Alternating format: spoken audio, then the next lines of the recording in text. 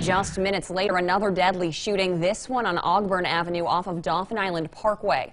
Police say two women were shot during a domestic incident. Quantina Fletcher and another victim were taken to the hospital, but Fletcher later died from her injuries. Mobile police now look for the man you see right here on your screen, Marquise Gray. He's wanted for questioning. If you have any information about either of these deadly shootings, contact Mobile Police.